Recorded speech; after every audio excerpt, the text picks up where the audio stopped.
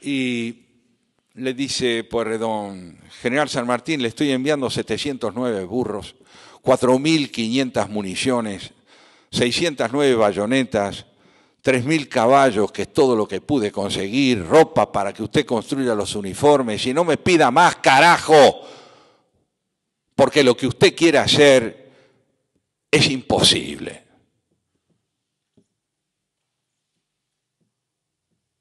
Respuesta del general San Martín. General Porredón, gracias por el envío, lo recibiré todo en los próximos meses. Le agradezco entonces lo que ha hecho. Y usted tiene razón, lo que yo quiero hacer es imposible, pero es imprescindible.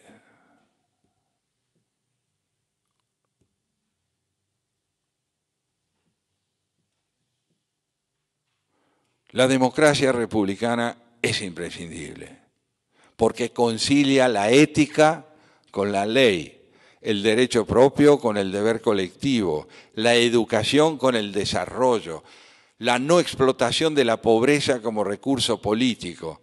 Y lo podemos hacer, yo no sé si lo podemos hacer, es imprescindible. La fortaleza política de un proyecto se mide por su dignidad intrínseca y por el hecho de descubrir que uno fuera de ese ideal no tiene interés en vivir. Que la vida no puede ser duración, porque no hemos nacido para durar. Hemos nacido para desplegar proyectos de mayor dignidad y si fracasamos hay que volver a empezar. Y no se puede decir que me va a llevar toda la vida, porque construirnos como personas nos lleva toda la vida. ¿Quién puede dar por culminada esa tarea? O queremos morir dos veces o queremos morir una.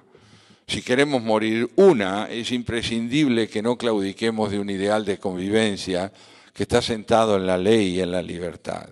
Muchas gracias.